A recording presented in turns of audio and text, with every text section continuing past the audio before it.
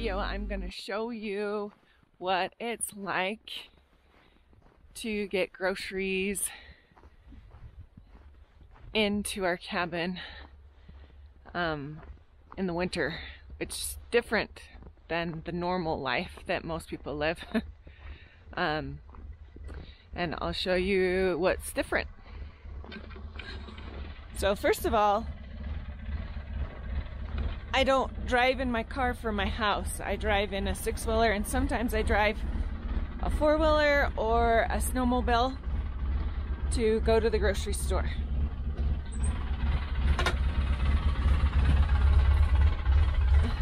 And because this six-wheeler isn't working the best, I have to plug it in. And hopefully hopefully it starts when I get back so I can get the groceries back up here. So I unplug this and now I'm gonna drive to the winter parking lot to where my car is and get in my car to go to the grocery store.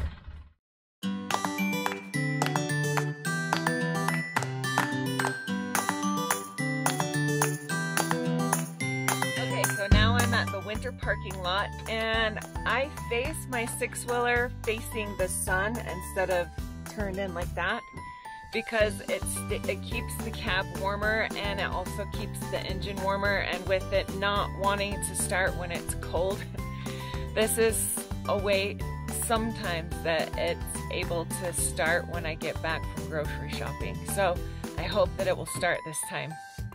Um, but let me show you what I used all last Okay, so this is what I used most of the year last year was this four-wheeler.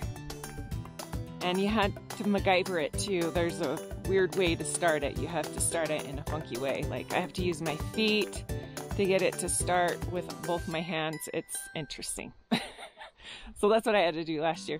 And then I would use this toboggan and we would um, the kids would come with me, so then they'd ride on the toboggan and on the four-wheeler, and a lot of times they'd sit right in front of the four-wheeler and then two on the back, and then we'd have the groceries in the toboggan, and as you can see, there's snow in the toboggan, and so sometimes I'd have snow in the toboggan, and we'd put, sometimes unfortunately, we would have paper sacks because of the store I went to, that's all they have. Um, and so it, it it created problems with the paper sacks having snow in there.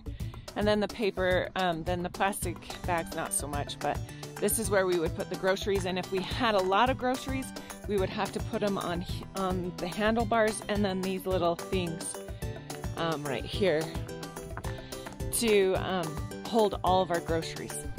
It's quite the task. But that's what we did last year, the kids and I to go grocery shopping and bring the groceries home and get um, them into our cabin home here in the mountains.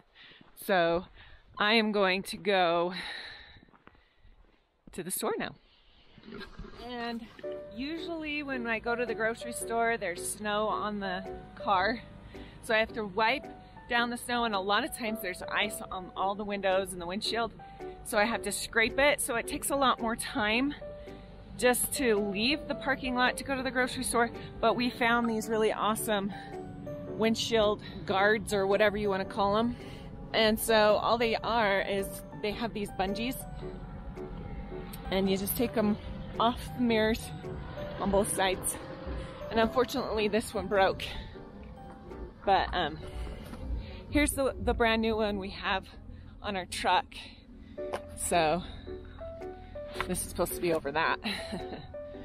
um, but it guards the windshield and we're, we, then we don't usually have to scrape or it's a minimal scraping. See, as you can see, there's really nothing that I, no ice that I need to scrape. But the sun is also up, so it's been getting plenty of snow if there, or sunshine, if there was some ice underneath this windshield protector.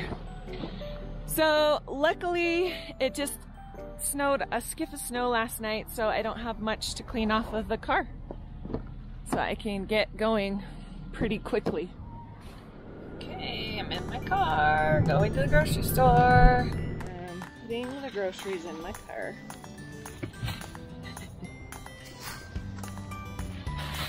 so this is normal. But when I get back, to unload and then reload. and then unload again. That's where it's different.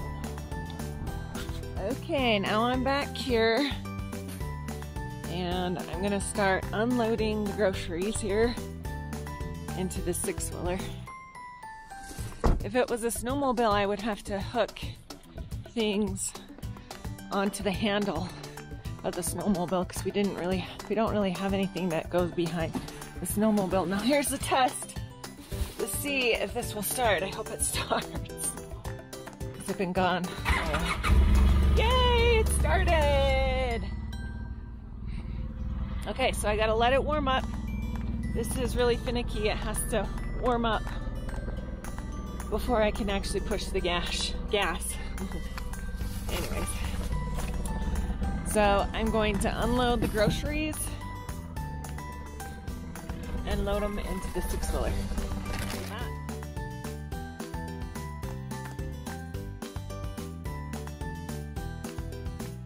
So if this doesn't start, then it's a pain in the butt because if the kids are with me, then we just have to walk home and then I have to grab like a snowmobile or whatever's available. And sometimes th those didn't start before we got the electric start snowmobile.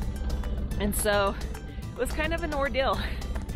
Um, but luckily this started and I can just load the groceries and then unload them in my house.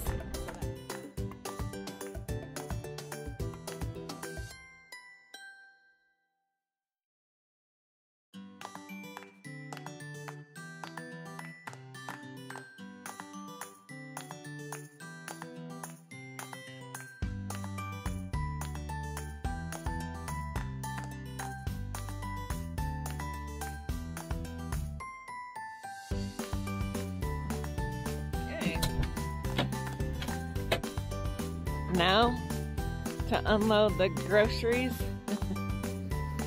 and take them in the house and then unload and put them in the fridge and wherever they go. So that's what we do here in the mountains, living in the mountains in the winter um, to get our groceries in and out. That's our life. Hope you guys are doing well. Catch you later. Bye.